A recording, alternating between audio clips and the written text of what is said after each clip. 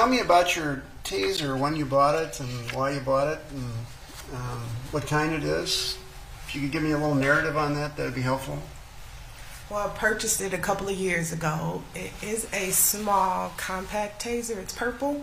Um, kind of just carry it in my purse for protection when I'm out walking at night or something like that.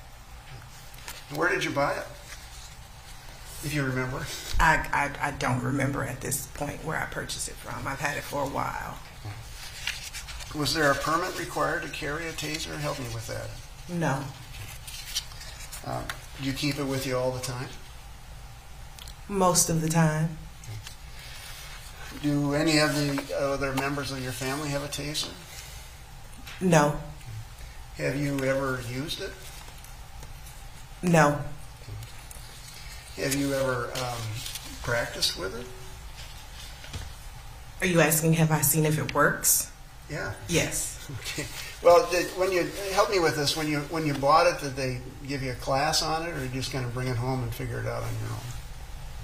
I believe I don't. Um, there may have been an instruction manual with it, but there was no class for it. No.